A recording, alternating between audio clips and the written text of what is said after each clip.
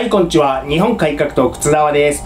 ギャラクシアン釈迦様、ご支援ありがとうございました。ありがたく頂戴して、政治活動と、えー、河野太郎裁判費用にさせていただきたいと思います。チャンネル登録よろしくお願いいたします。メールとインさんにもなってください。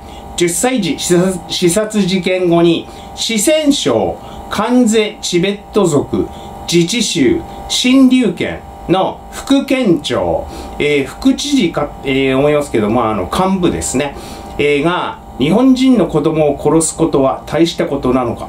我々の規律は日本人を殺すことと SNS に投稿し、まあ、TBS その他が報道しておりました。世論です、えー、外務省なんか言ってみろよ。本音かな。地方政府だけじゃなく中国共産党がそういう考え方だから、えー、反日なしじゃ国が持たないんだろうな。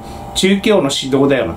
チゲット人ウイグル人を殺しまくってるから感覚が麻痺してんじゃねえー、まあ、チベット自治州にあるとこの幹部ですから、まあ、中国人でね、えー、でチベット人を殺しまくった側あとみなしていいんじゃないでしょうか河野太郎これどうすんのどうすんの河野太郎これ、えー、ネトウヨが言うようにわーわー騒げばいいというもんではないって言ってましたけれども河野太郎これどうすんのえー、チベット族自治州新竜県は人口4.5万人でした。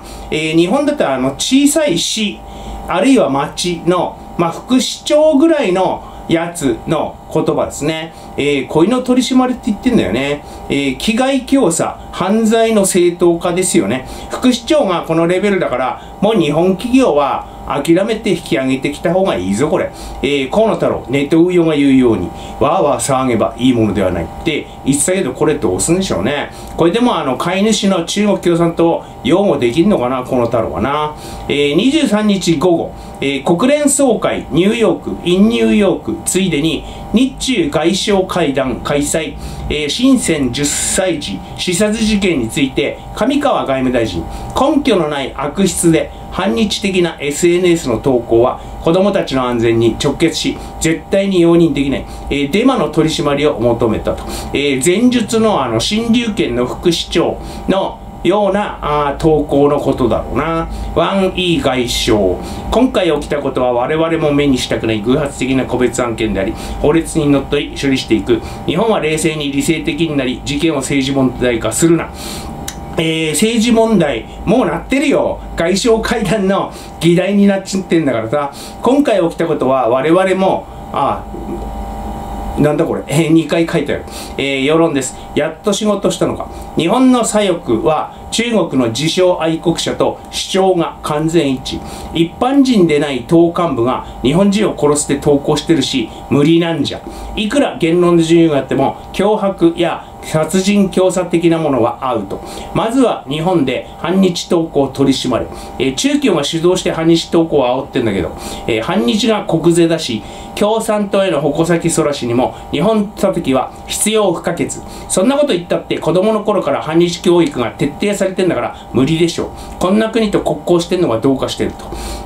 えー、中国に日本の反中投稿を取り締まれって言われたらどうすんだ、えー、パヨが一生懸命ね、あの、中共用語してましたけれども、えー、日本側はですね、嘘やデマ、脅迫や危害強査を取り締まれて言ってるんでしょ。えす、でにあの、日本では中国人に対する無差別の脅迫やら、え危害強査はアカウントなくなっちゃうでしょ。取り締まれられてますよね。えー、中国共産党、アメリカに降伏しても中国大陸に居座って、えー、嘘なんですけど、悪事の限りを尽くす。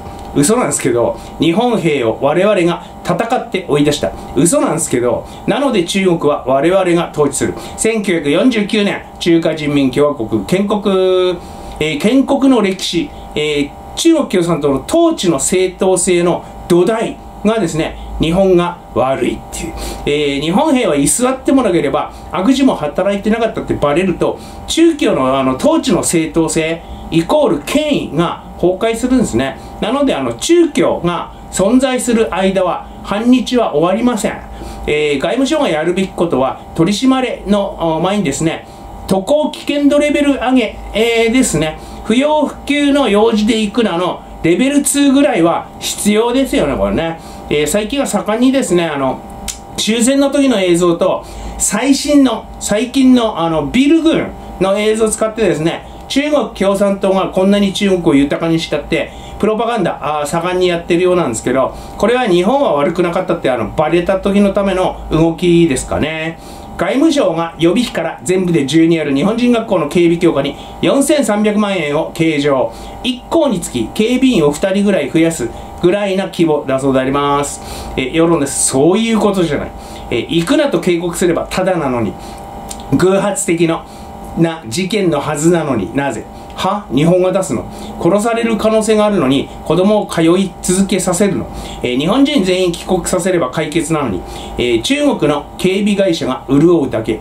警備員がやらかしたらどうすんの。中国人の警備員ねあの雇っても目の前で日本人が襲われててもスマホいじって何にもしなさそうだな。こういう事件が起きても日本人学校に子供を行かせる親の気が知れません。こんなとこにいられるかっつって父親を置いてあのお母さんと子供で帰国してきなよ。もう、えー、立憲の代表選の結果は野田義彦。本当に人材いないんだな。えー、野田になったからな。あの財務省は喜んでるでしょ、えー、人材なら豊富なのにね、えー、野田。国ガチャに当たったと言える国を作ろうと発言。えー、野田は日本は外れって思ってるってことですね。世論です。どこだったら外れなの？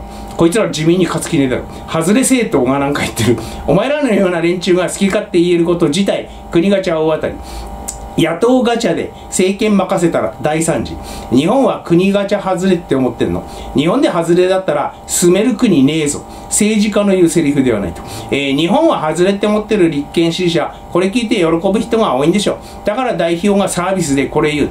えー、日本が外れだったら住める国ないんだけど、えー、立憲支持者、日本は終わってる。え、いや、お前が終わってんだと。え、自分がバカで幼稚。それゆえ、低所得で持てないことを日本のせい、社会のせい。えー、こういうですね、あの、他人のせい、執行だから立憲なんか支持しちゃうんだよね。えー、少子化だの、賃金上がらないのが自民のせいっていうのは多分にありますけどね。